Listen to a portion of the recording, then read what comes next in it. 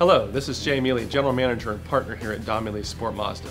The following informational video has been brought to you by the experts at Sport Mazda.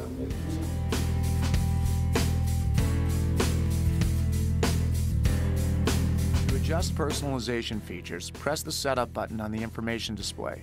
Touch the Vehicle on-screen tab to select and adjust settings for door locks, lighting, and wipers. Touch the desired setting item. Touch the desired setup item from the list. Touch the OK on-screen button.